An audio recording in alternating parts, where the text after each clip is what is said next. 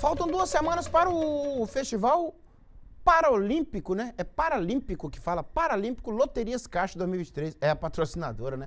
O evento será realizado no dia 23 de setembro na Praça de Esporte em Governador Valadares.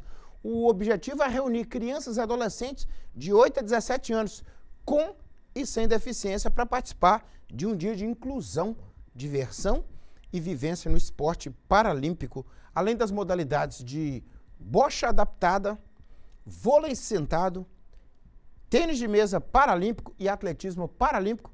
Este ano os participantes também terão skate paralímpico. Tá achando o quê, hein? Para se inscrever, basta então comparecer à Secretaria Municipal de Cultura, Esporte, Lazer e Turismo, que fica na rua Afonso Pena 3269, é, bem no centro, né? No horário das 7 da manhã às 5 da tarde. Panterinha colocou o endereço pra gente. Panterinha é fera, né? Deixa aí, Panterinha. Quem quiser se inscrever lá.